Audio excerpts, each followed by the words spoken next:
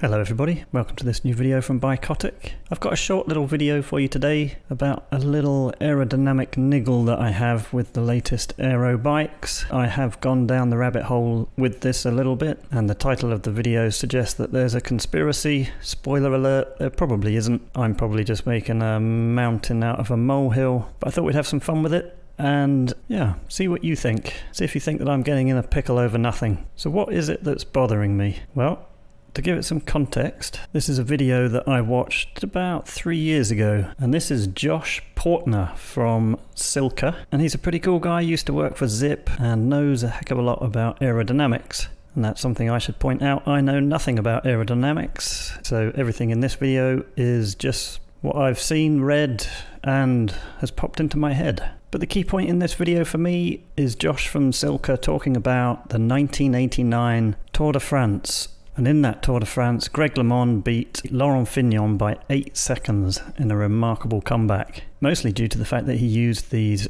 weird tri bars, which had never been used in a pro bike race before, I don't think. Anyway, he points out that effectively that 8 seconds over 20k could be accounted for by something like this pencil sticking out of your bicycle. So what we're saying is that this pencil could cause enough aerodynamic drag to cost you 8 seconds in the Tour de France and effectively lose the race. So keep that thought in your mind. So this is the Cannondale SystemSix a top of the range aero bike. Now, by no means am I singling out Cannondale here. This applies to every disc brake aero road bike out there, as far as I can tell. But Cannondale very kindly have this head on photo on their website, which is very handy for me to use. So, if we look at this beautiful aerodynamic bike, I mean, the first thing to point out is just how much work we have to do to actually make an aero bike properly aero with all the dreadful transmission pieces all sticking out in the wind all over the place. It's going to be quite a while before we actually get really, really aero bikes. But there is one little piece in here that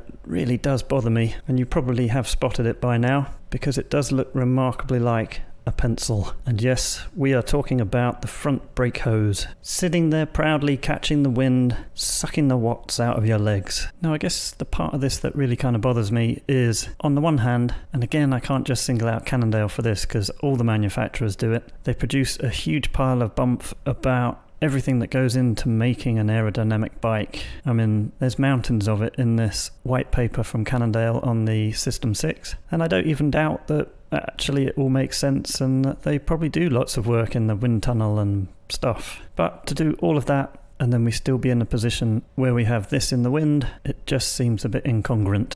And that actually is a word which I proved to someone the other day, and I think I used it in the right place. So the next thing I wanted to show you was how a cylinder is literally the worst shape that you can have in aerodynamics. And I only know about this because I've read about it on the internet. But I thought it'd be fun to fire up the AI image creator and I asked it to produce this image for me, which I thought was quite good, really. It shows you all the little eddies that get created. I think they're called eddies. And as my first attempt, I thought that was a pretty good effort. However, never happy, I thought I'd go for version 2 and try and improve on it, and things got a little bit weird, to say the least.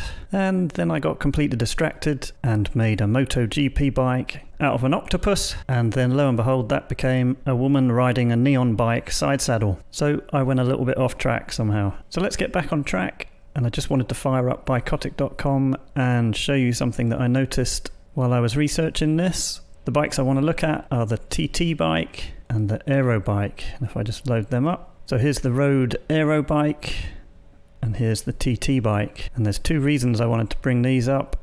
First of all, I thought that was a really good example of the difference between the geometry of a TT bike, so a time trial or triathlon bike, and then a road bike both aero, but both very different geometries. The TT bike much more bringing you forward over the bottom bracket, really low at the front, very aggressive, and will be very twitchy and hard to ride, but super fast, as opposed to the road bike, which is much more laid back relatively to the TT bike. But the other reason I wanted to bring these up was clearly this is an aero bike. Clearly it's had a lot of work on it to make it aero, but again it's actually a really good example of our pencil in the wind. If I just zoom in here, there it is. Now I suspect what happened was back when disc brakes started coming into the road bike world, they basically all agreed that this is how they would do it. Because clearly the group set manufacturers produce these separately to the frame manufacturers, and they will have had to have agreed on a standard at some point, and this is what they decided on. But I guess what I'm saying is that it's time to update that. Okay, so what we have here is the rather lovely B-Works Barmac. Well, at least we have half a one anyway, and this is a pretty aero bike, not a full-blown aero bike but it was a 3D model that I had lying around, so I thought it would save a bit of time. Quite clearly, it's a disc braked bike, and as we can see here, the caliper is bolted onto the fork leg, and then out of the top of the caliper comes the brake hose, or the pencil as we've started calling it. And there it is, sitting in the wind, massively slowing you down, which is obviously not what you want. Okay, and then what we have here is one of the Bikotic solutions. Again, we have a rather lovely B-Works Barmac in this lovely faded green. However, this time we zoom in on the caliper. What I'm suggesting is that we actually take the pencil and we put it behind the fork leg. That's got to be better, hasn't it? Isn't that a pretty simple thing to do? Obviously, Shimano and SRAM might have something to say about that, but that seems pretty simple to me. And then when you look at it from the front, lo and behold, the pencil has moved out of the way. We can have the top of the caliper nice and smooth and aero. That's got to be a better idea, hasn't it? Put the brake hose behind the fork leg. So that's one of my ideas. What do you think? Comment down below if you like that idea. Would it help, do we think? Now, it has to be said that I am a realist and I know that nothing's going to change quickly on this, I wouldn't have thought. So here's idea number two, and we've gone back to the first B-Works Barmac, and this time I have my little invention on the brake hose, and it's called the Bikotic Hozzy. And what we have here is an aerodynamic shroud to go over the cable. Look at that. Oh yeah, I mean how cool is that? Let's zoom in on this beautiful piece of technology fully aero, 3D printed entirely from recycled rim brake pads. Oh yeah, that has got to be on your Christmas list, right? I mean, how many watts is that going to save, do you think? Maybe one, maybe two? And for $12.99 that has got to be worthwhile. And I think that looks pretty cool as well. The Bikotic Hozzy. Fantastic. If you'd like to uh, get a pre-order in, put a comment down below.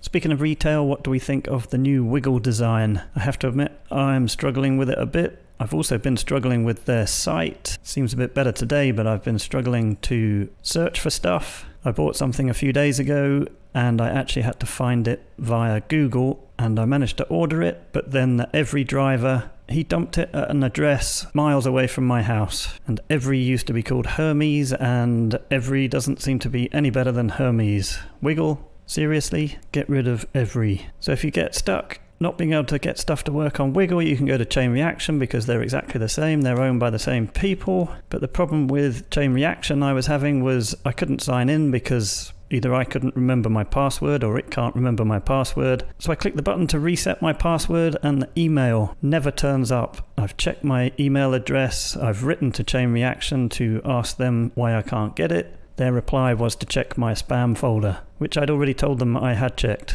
Chain reaction, I can't log in. So that's enough complaining, and I just wanted to run these by you. After doing all the research on my Bikotic Hozzy, I then went to the AI program again just to see whether it knew anything I didn't, and I thought I got some pretty cool results. I've got a cassette made out of a disc rotor.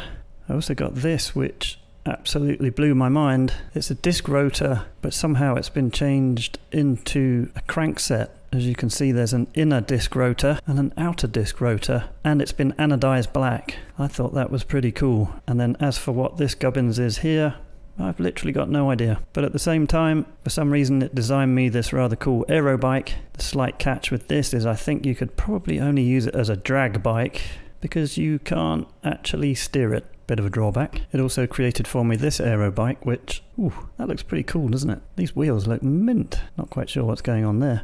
So that's pretty much it for this video. I thought I'd leave you with this. I thought it'd be quite funny to make a little story up and then make the images in the AI program. There's a lot of AI in this today, isn't there? It's taken over the world. Do you remember when we didn't have AI three weeks ago? Man's new bike is delivered in bike box.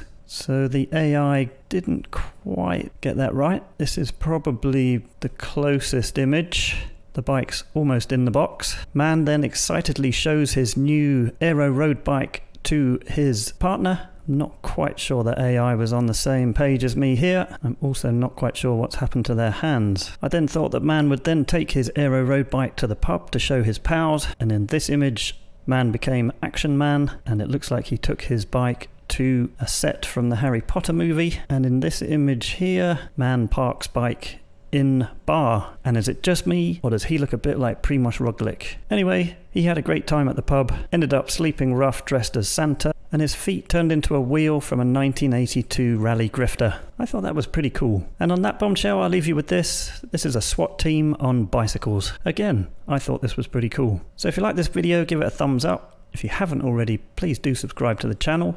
Go and check out bikotic.com. Until next time.